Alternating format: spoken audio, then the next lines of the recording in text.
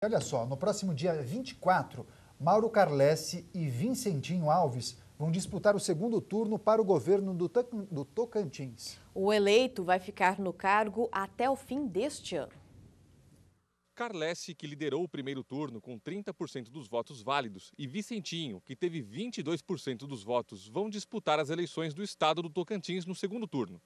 As campanhas dos dois candidatos recomeçam hoje e são permitidos comícios, carreatas, caminhadas, carros de som e distribuição de panfletos.